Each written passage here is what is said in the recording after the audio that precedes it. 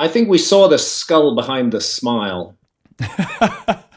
I think that, that that what it is, in fact, Ted, you know, the, the people at TED uh, confess to this that they have a a science board which tells them what is politically correct and what is not.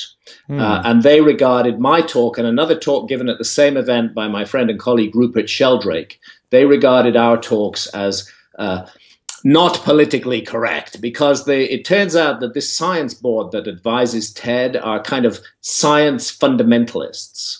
They uh, believe that everything can be reduced to matter that there is no non material element of reality. They regard consciousness as an accidental byproduct of brain activity. You know, we got these big brains so that we yeah. could compete in the jungle, and accidentally, as a side effect of that, we got consciousness. They call it actually an epiphenomenon of brain activity. And this is science dogma. This is not science fact.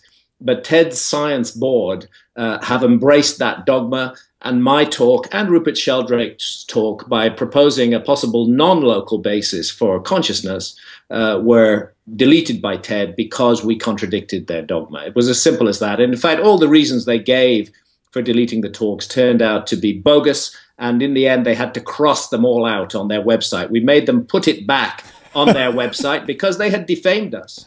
They put it back on their website. They crossed out all their objections and they published our refutations. But it's really out there on the net in the pirate editions that this uh, that this talk is being seen these days.